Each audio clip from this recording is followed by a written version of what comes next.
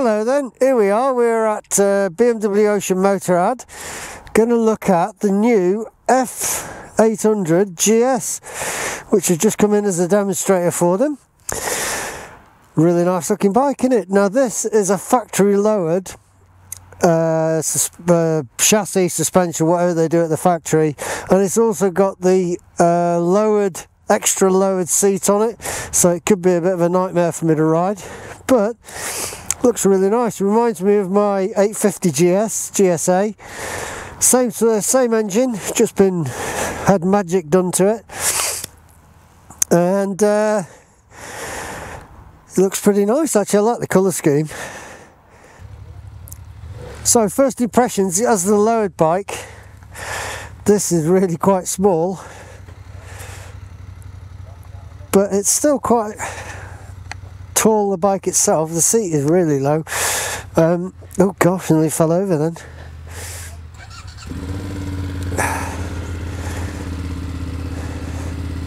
In fact it's so low and I got cramp in my hip. Oh look at that bike there in front of us. It's uh, it's my bike. So this is quite a basic bike I would say. In as much as it's uh, it's, it's not got many bells and whistles on it. It's small. So I'm uh, five foot ten and the bike is lowered, got lowered suspension, all that old malarkey.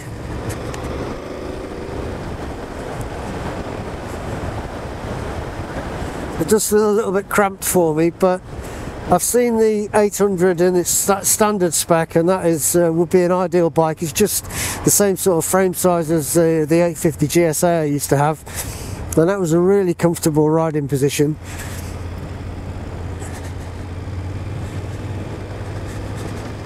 So one thing that's instantly obvious on this bike is how light it is. Not really sure of the specs, but we'll put them up at the side of the screen, what the actual specs of it are. But it feels really light, it feels really flickable. And uh, I quite like it. Issue for me straight away is the screen. Now, you can get an aftermarket screen, I believe, um, that's a bit bigger than that one. I just don't feel I'm getting any protection from it. I'm not get, I'm only doing 34 miles an hour. We're going through Falmouth, but there's not really much wind. But I think in in the rain you might get a bit of rain from it. But the shape of the tank does give you some protection for your thighs and your legs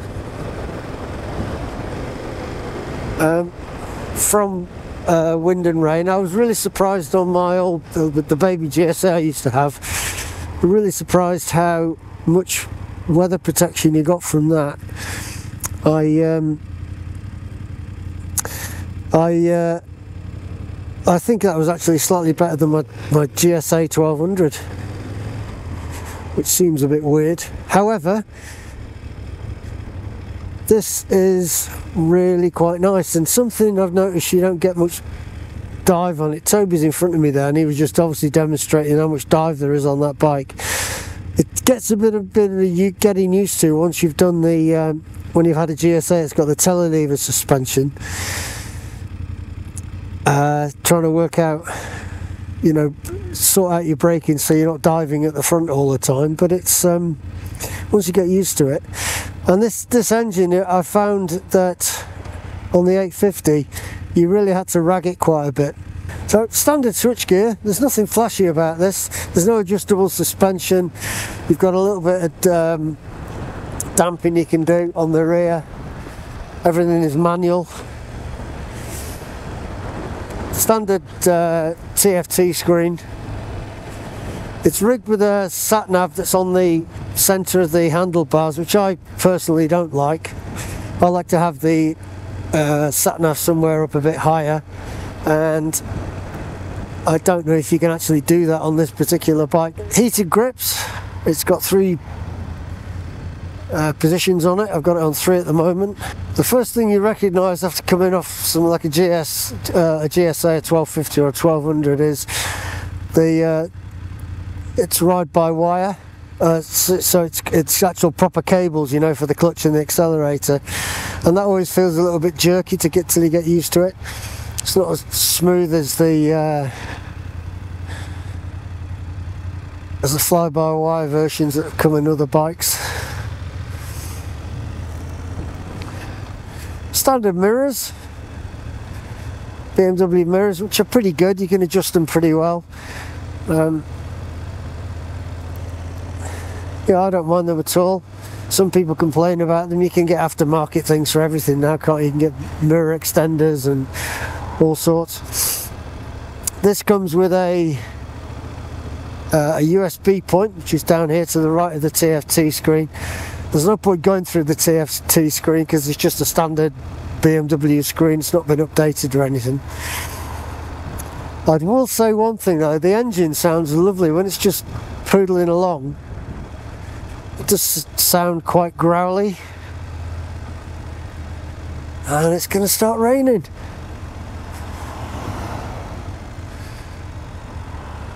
And good engine braking on it.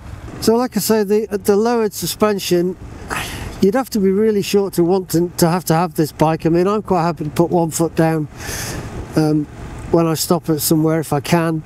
And I don't mind necessarily being on a bit of a tiptoe sometimes on some bikes. But this is a nice light bike, so I think one foot is acceptable. On the, this lowered suspension, I do feel a little bit squeezed in, you know. Um,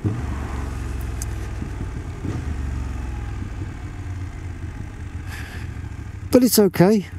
I couldn't ride this, but when we were talking to the to the uh, sales team, they were saying, "Oh, you know, it'd be a great commuting bike," and it would actually. It'd be a fantastic commuting commuting bike. It's nice and small. You know, I'm sure you'll get good miles per gallon out of it.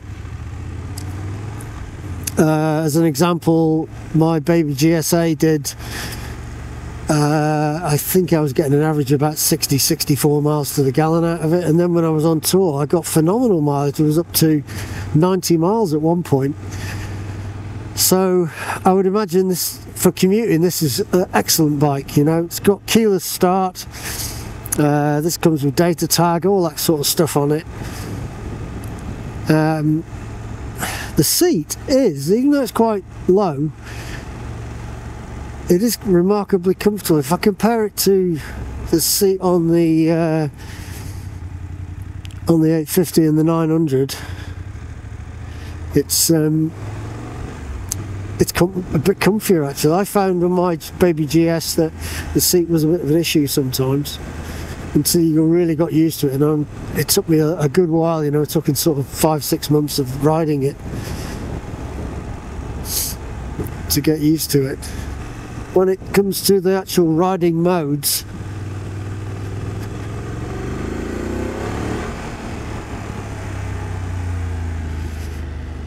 we have road and rain and that's it so you only get two choices of um, ride mode it's got an S the SOS button is uh, I think for standard for a lot of bikes now from BMW on the other side, uh, on the left-hand switch gear you've got uh, traction control. Oh, traction control. It's on or off, and it's on, and that's good. There's no suspension. Standard menu, horn. It has got cruise control, which on quite a lot of bikes like this, they don't fit that, which I think is a know, you're losing a bit there. You only have to fit a, a throttle lock or something like that. Why can't you just put a cruise control on it? and I use my cruise control on all my bikes down to 30 miles an hour so can just poodling around in town they're really good so uh, I, I think it should be a pretty much a standard fit. You wouldn't expect a car not to have cruise control nowadays would you? But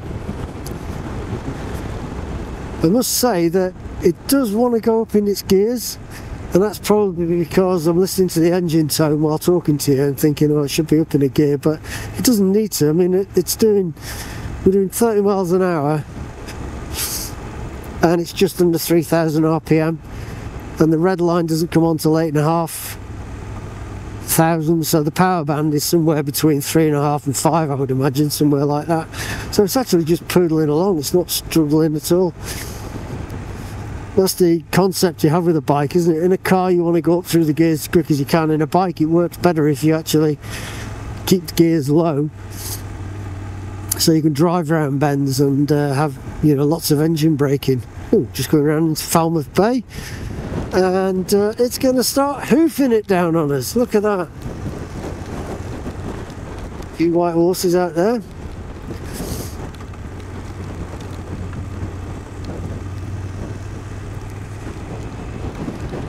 So I like it actually. I, I don't think I'd want to tour on it necessarily, but you can tour, you can tour on any bike.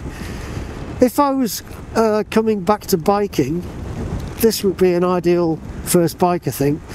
Even though it's, a, it's a, an 800 and you know it's quite a large capacity engine, the uh, it would be an ideal first bike to get back into biking I think and it's you know it's it's good enough for most riders. You know, it's not going to light light up the uh, the sky, but it's not going to disappoint you either.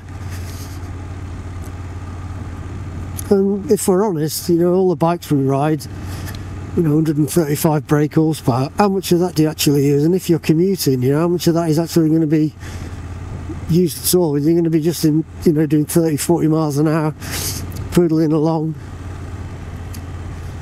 This is just no effort at all for it. Hola, buenos dias, buenas noches. I'm freezing and I'm wet. Oh. Moist. Is that a word? Can we use that word? I don't know. Look what we're looking at here. What have we got? This is the uh, new F800 by BMW. Oh, GS. GS. Mm. Says it there, doesn't it? Yeah. Somewhere. How cool is this? Actually, looks really nice. it's a bit basic, but it's a really nice bike. And this is a factory lowered and the lowest seat you can get. So I felt a bit squashed up on it, but it's a really nice bike. We're, we were chatting before we left about what you would use this for. It's a great little commuter, I think. You could tour on it easy. Definitely tour on it. Um, it's just a nice bike. Really nice. And you know what? I think you could even green lane it. You could put some knobby tyres on it. Cause it's, it's got quite a lot of clearance at the bottom, isn't it? It's really light. It is really light. Really liked it. Um, things to talk about. Basic, basic. Comes with a sat nav preparation on it that's on the headstock. Same old switchgear for BMW. Engine is really, really quite smooth but the sound is really nice. It's just got a, the um, BMW exhaust on it, which makes it gives us this little burble. I was talking about my 850 I had, hmm. same sort of exhaust. The noise is just really nice, and I like that. Does so it feel? Does it feel like your 850?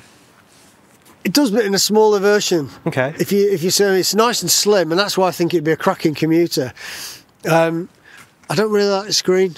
It's quite a small screen. It's a really small screen. I believe you'd be able to get an aftermarket one because I didn't get any wind necessarily from it. Yeah. Um, but I think the rain will obviously because it's just coming straight in at you, you know, so you're going to get wet. But nice little what, beak even on more it. moist. Even more moist, yeah, yeah, which is not probably a good thing. The seat, although it's lowered and it's like, you know, it's had a lot of stuff taken out it, it was very comfortable and yeah, you can tour on it. Standard BMW mirrors and all that kind of stuff. Um, it doesn't have any fantastic bells and whistles on it. There's no electronic suspension. Uh, there's only two riding modes: rain or or uh, road. It's keyless start. But it's weird though, isn't it? Because when you think about the history of bikes and us saying there's no bells and whistles on it, it's really basic. People like that though. Yeah, but the bikes that we call basic now are really advanced from what they were years ago. The yeah. technology that's in the engines, even the ABS, you know, all the braking systems, they far exceed anything years and years ago, don't they? It's really strange how, as humans, we say this yeah. is a really basic yeah. bike, but in actual fact, the technology that's gone into it is just as basic as a brand new GSA top of the line, isn't it? Yeah. So you see, it's quite a long bike, I think.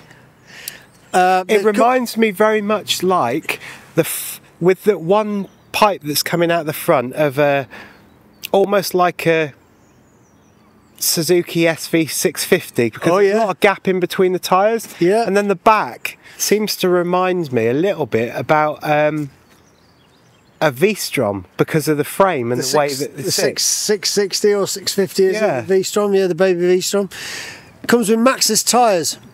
Now I try to get hold of Maxxis because they get quite a good write-up on their tyres, but they didn't get back to us. So it'd be nice if we could do hmm. that. But the tyres were quite nice. They were, the ride is a bit hard. Hmm. But you know, I'm no, I am no expert. I couldn't possibly set the suspension up. But if somebody said this is the bike you ride because this is it, I'd just go, yeah, okay, that's fine if it's got electronics on it where you can adjust the suspension, then I might I am brave enough to go, oh, I'll set it to auto and let it do what Yeah. it wants. But it just does fine. This is the same seat that I think was on the uh, the old um, eight- 850, and you'll notice it is Measurement coming up. nine and a half inches wide, so it's a nice wide seat. Mm-hmm. Um, I don't think it'd be much fun to have a pillion on here for any length of time. Mainly because the bike's to be enjoyed by one person. I mean, um, but yeah, Okay. right, yeah. so you can get a top box on there, I'm sure, Yeah. and I'm sure you can get aftermarket stuff. well, and you can get luggage as well, can't you? Because it looks like these are the, like the Vario hangers. Uh, yeah, although you've got they the didn't mention that there. to us. So No. the Vario luggage is quite quite bulky out here, so it'd be ideal for an individual touring on it. Definitely, uh, not so much for a a, a pair of people, but it's just a nice bike, and, Yeah. it, and it goes. It's quite quite swift. Uh, I was really quite pleased with it. And things like the um, the handguards and stuff, they're exactly the same handguards that are on the GSAs, Yep. aren't they? Now I said about you, you might want to go green lane. It doesn't come with a belly pan or anything like that, so you'd have to fit, retrofit that. But you know, if I think if you were doing a back to bike, you know, you're just getting back into biking, this would be a cracking bike to do it on. Yeah. Well, it might be that this fits into um, riding school type bikes. Yep, yep. And I was trying to. You were talking about what bike you thought it looked like, and I was thinking it looks like a the BMW 310 on steroids, Yeah, it does actually. Yeah, yeah. which is a nice little bike, yeah. cracking little bike. So, yeah, that's it. Gonna get one? Uh, no. Did have to think about that then. No, it doesn't tick any of the boxes that I need ticking. But It will like, tick boxes for somebody who's looking for a cheaper bike that's got enough power, that's comfortable, that can do everything. It will fit somebody a, a treat, won't it? I, and it's not meant to sound as a sexist comment, but I think a lot of ladies like might, might like this type of bike only because of the height thing. Yeah. Um, and this is the factory lowered one, so And it's quite funny, isn't it? Because as bikers, most bikers will be, I want the best of the best of the best all the time. And in actual fact, you haven't got to get the best of the best because if you buy the top of the range 1300, there's things you've got to compromise to fit on the bike. Oh, yeah, You definitely. could save some money, fit all the stuff you want to fit on this one, and be just as happy. it's an awesome bike. It'll tick a lot of boxes for a lot of people. Not for me, unfortunately, but it is a cracking bike. So it's going to start raining now, really heavy, It's hailing. and I haven't got a hat. So give us a See them bouncing off his All head. the, all the details will be on here somewhere, and um, come and have a ride of this because you'll be really impressed by it.